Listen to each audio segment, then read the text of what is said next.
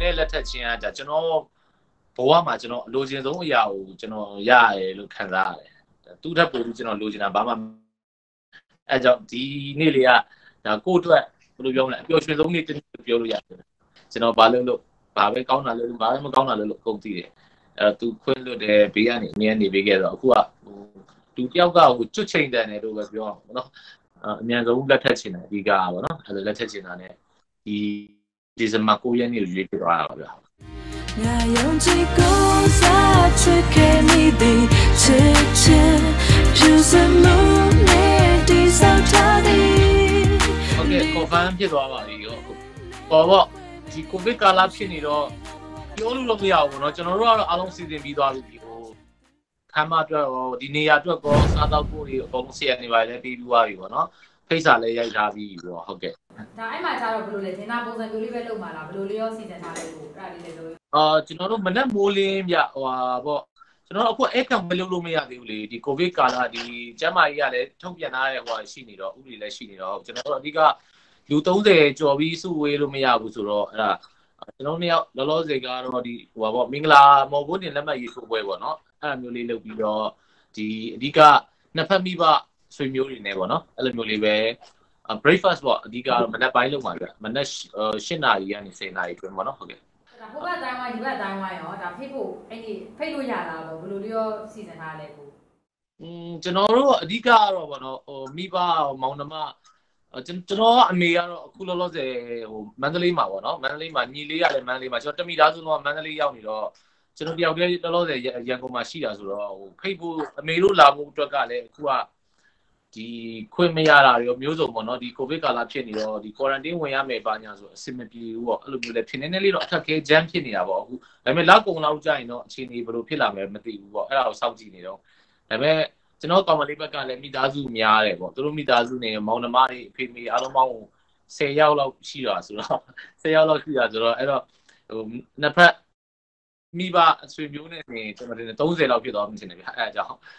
ဟုတ်ဘာသာအဲ့ဒီကြတာလက်မှတ်ထိုးဝဲပဲပေါ့ဘယ်လိုမျိုးပွဲတွေပါတယ်ကြတော့ကိုတို့ဒါအစပလန်ထားတယ်ကြားတယ်လေအခုကဒါပြန်ဖြတ်ထားတာဘယ်လိုရောလုပ်ထားလဲကိုဒါလေးလုံးအော်မင်္ဂလာအိမ်ကဘွယ်ပထမကျွန်တော်ဒီ9ရက်နေ့ကိုကျွန်တော်ပထမအင်းအလိမ့်မှာဆိုပြီးစီစဉ်ထားတာဒါပေမဲ့အကုန်လုံးပြန်ဖြတ်လိုက်ရတာပေါ့နော်အဲ့ဒါတွေကအကုန်လုံးဖြတ်လိုက်တယ်ဘာလို့လဲဆိုတော့အခုကလူ30ထက်မပိုရဘူးဆိုတော့ဥပဒေထုတ်ထားတာဆိုတော့လေ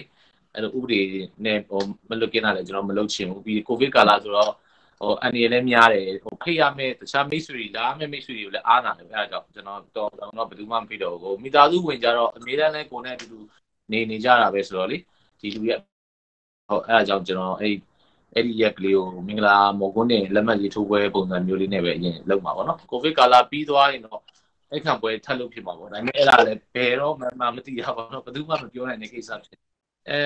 ဒလောစေတော့ဟိုဒီ လက်မှတ်ထိုးဖို့ပေါ့နော်ဒီမော်ကွန်းနဲ့လက်မှတ်ထိုးဖို့အတွက်ဒီတရားသူကြီးတို့ပါတော့ဒါအခမ်းအနားမှုတို့ပါအဲ့လိုကကိစ္စကြတော့ကျွန်တော်အမေကစီစဉ်ပေးနေတယ်ဟုတ်သူနဲ့အဲ့တော့အဲ့လိုမျိုးစီစဉ်ပြီးကျွန်တော်တို့ကတော့အခုဖိတ်စာတွေလည်းရိုက်ပြီးပြီးဒီကျွေးမဲ့မွေးမဲ့အစားအစာတွေပါလည်းရွေးပြီးပြီပေါ့နော်ဟုတ်ပြီးတော့အပြင်စင်ပေါ့အခမ်းအနားအပြင်စင်ပန်းနေပါကြဒါကျွန်တော်ကောင်မလေးသူစိတ်တိုင်းကြအကုန်လုပ်ခိုင်းတာအဲသူသူသူကြိုက်တယ်လို့ဟိုအစီအစဉ်ပေါ့လောလောဆယ်ကကျွန်တော်သူပြောင်းလာတော့မှဆိုတော့လေကျွန်တော်အိမ်ကိုပြောင်းလာတော့မှဆိုတော့အဲ ပစ္စည်းတွေဝယ်ရရှိရဝယ်သူအိမ်ကရွှေ့ရရှိရရွှေ့ပေါ့အဲ့ဒါနဲ့နေလှုပ်ရှုပ်နေဒီအပိုင်းဟာဟုတ်ချစ်သူတက်တန်းလေးကြာပြီကြာကြီးနေပြီးမှဒါလက်တွဲရတယ်ပေါ့ဒါစိတ်ခံစားချက်နဲ့အဲ့ဒီအတွက်ကြိုတင်စိတ်လှုပ်ရှားမှုလေးလည်းပြောပေးပါအောင်ကိုဒါအမအမစိတ်ကြိုက်တဲ့အကုန်လုံးကိုဖန်တီးပေးထားတာဆိုတော့လေဘယ်လိုလေးရောဒါသူ့ရဲ့သူ့ရဲ့ဆန္ဒကိုဖြည့်ဆည်းပေးရတော့ဘယ်လိုလေးရောကိုစိတ်ကျဉ်တတ်မှုရှိလဲပေါ့အဲ့ဒါလေးလေးပြောပေးပါအောင်ကိုအာသူ့အတွက်ကျွန်တော်ဖြည့်ဆည်းပေးရဆိုတာပေါ့ထပ်ပေါ့နော်ကျွန်တော်တခါလေးရိုက်ဟိုကိုကိုဘက်ကကိုစိုက်ကကြည့်မယ်ဆိုရင်သူနဲ့လက်ထက်ချင်းကကျွန်တော် ဘဝမှာကျွန်တော်အလိုချင်ဆုံးအရာကိုကျွန်တော်ရရတယ်လို့ခံစားရတယ်သူ့ထက်ပိုပြီးကျွန်တော်လိုချင်တာဘာမှအဲကြောင့်ဒီနေ့လေးကဒါကိုယ့်အတွက်ဘယ်လိုပြောမလဲအပျော်ရွှင်ဆုံးနေ့တစ်နေ့ပြောလို့ရတယ်အဲကြောင့်ကျွန်တော်သူ့စိတ်တိုင်းကြဘာပဲလုပ်ပြရလုပ်ပြရတာကျွန်တော်တို့ပင်ပန်းတယ်လို့လည်းမထင်ဘူးလုပ်ပြရတယ်လို့လည်းမမြင်ဘူးဟုတ်အဲကြောင့်သူ့ကိုစိတ်တိုင်းကြဖန်တီးခွင့်ပေးတာရဲ့အဲ့ရက်ကလေးကိုဟုတ်အော်အဓိကသူ့ကြောင့်လည်းပါတယ်ဗျအများကြီးပါတယ်ပေါ့နော်ပြီးတော့ ကျွန်တော်အရက်အရက်တွေပါရှောင်လိုက်တာကြောင့်လည်းပါမယ်အရင်တော့လေအရက်ကအရန်ကြိုက်တော့နေ့တိုင်းလို့လို့အချိန်တိုင်းလို့လို့တောက်ပြစ်နေတာပေါ့လို့အမြဲတမ်းတောက်ပြစ်နေတာကျွန်တော်အခုအခုဒီဝါရင်းစပြီးမဝင်ခင်အကုန်ရက်ချလိုက်တယ်ပြီးဘဲမှလည်းသိပြီးသွားပြီးတော့အရက်မတောက်ရင်သိပြီးမသွားပြီးတော့လူကလေဟိုဘာလို့လဲဆိုတော့အမြင်ပေါင်းနေတဲ့တငယ်ချင်းတွေအကုန်လုံးလည်းဒီဘာတွေဘာတွေတွားရင်တွေ့ရပါညာနဲ့ဆိုတာလေဒီအခုကိစ္စဖြစ်ကြတဲ့အဲ့အရာတွေမရှိတော့ဘူးရက်လည်းတိတ်မတော့ဖြစ်တော့ဘူးဆိုတော့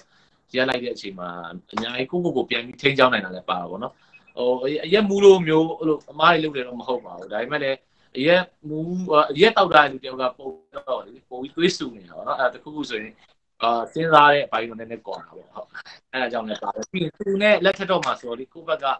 အများကြီးအပြင်ဆင်ရတော့မယ်ဆိုရင်စိတ်ကကောင်းနေဝင်လာ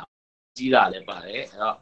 သူ့လည်းတစ်တလုံးဒါစိတ်မစင်းရစေချင်ဘူးဘာမှလည်းကိုက ဘာအမှမှလည်းထပ်မဖြစ်ချင်ဘူးပေါ့နော်အဲ့ဒါကြောင့်အဲ့လိုကိုကကိုစိတ်ကျင်လိုက်တဲ့သဘောပါအရင်တော့ဆိုရင်ဘလောက်တိုင်းတာကြည့်တော့တောင်စိုးခဲ့ဘူးလေပေါ့အဲ့ဒါလေးလေးပြောပြပါဦးအဲ့ဒါတော့တော်တော်များများလည်းသိပါတယ်ကျွန်တော်နဲ့ပတ်သက်တဲ့ဒီတကယ်ချင်းတိုင်းဝိုင်းကြီးလည်းသိမယ်သူကိုယ်တိုင်ဆိုလည်းဒါနှစ်ပေါင်းများစွာပေါ့နော်ဆယ်စုနှစ်တကူလာကိုကျွန်တော်နာမှာနေဟိုကျွန်တော်ဆိုပြီးထားခဲ့တာလည်းကံမျိုးစုံပေါ့နော်ကျွန်တော်လုပ်ချင်တာရေးလုပ်ခဲ့တဲ့အချိန်တွေကမနေဘူး အဲအဲ့တော့ तू ကအတိဆုံးပေါ့ကျွန်တော်ဘယ်လောက်ထိဆိုခဲ့လဲဆိုတာ तू ကအတိဆုံးတချို့တွေဆိုရင်တငယ်ချင်းတွေဆိုရင် तू နဲ့ကျွန်တော်နဲ့နှစ်ယောက်သွားတဲ့အချိန်တွေဆိုရင်တငယ်ချင်းတွေဘေးကနေလာလာကြက်တယ်ပေါ့နော်အဲနေကြီးစားဘလို့ဘလို့ဆိုတာ तू ကဖြုံမဖြုံတော့အဲ့လောက်ပေါ့ဘာ तू သိတာအကုန်လုံးနဲ့ပုံများတယ်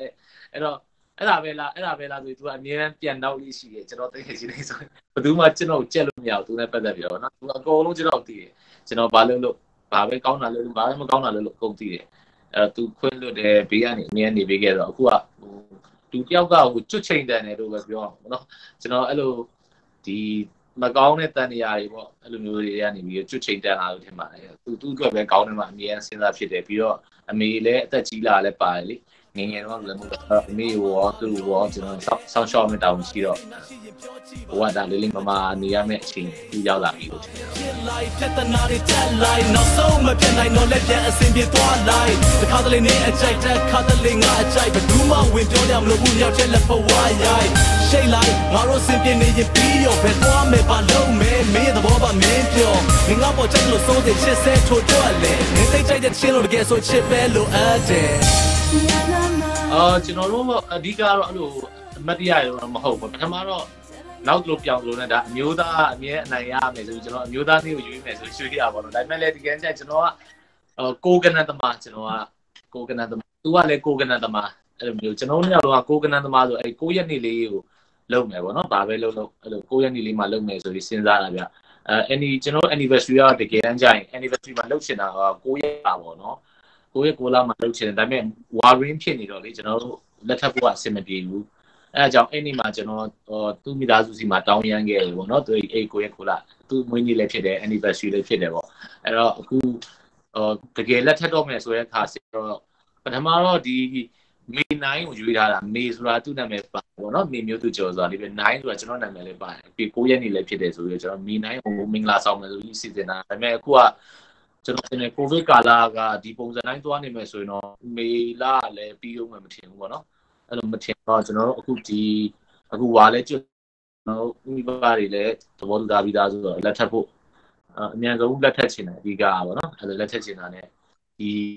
ဒီဇင်ဘာ9ရက်နေ့ကိုရွေးပြသွားတာပါဗျာ အာမိဘလည်းကျွန်တော်မိဘလည်းအမျိုးဝန်ထမ်းဆိုတော့လေအများနဲ့နေမှာပဲဆိုတော့ကျွန်တော်ကဒီလှုပ်ရှားလုပ်ကြတဲ့ရန်ကုန်မှာပဲအခြေချပြတာအဲ့တော့တယောက်တည်းပဲအမြင်ဖြစ်နေတော့ဟိုလုံးကြီးဖြစ်တာလည်းပါတာပေါ့နော်ဒါပေမဲ့လည်းအချင်းတော်လည်းဖြစ်နေပါတယ်အခုကသူကကျွန်တော်အခင်တွေ့ဆုံးလူပဲလောကကြီးမှာအဲသူနဲ့အတူတူအတူတူနေရတော့မယ်ဆိုတော့ပျော်တာပေါ့အရန်ပျော်တာပေါ့အဲ့တော့အခုအတူတူနေရမယ်ဆိုတော့ဘာပြောပြော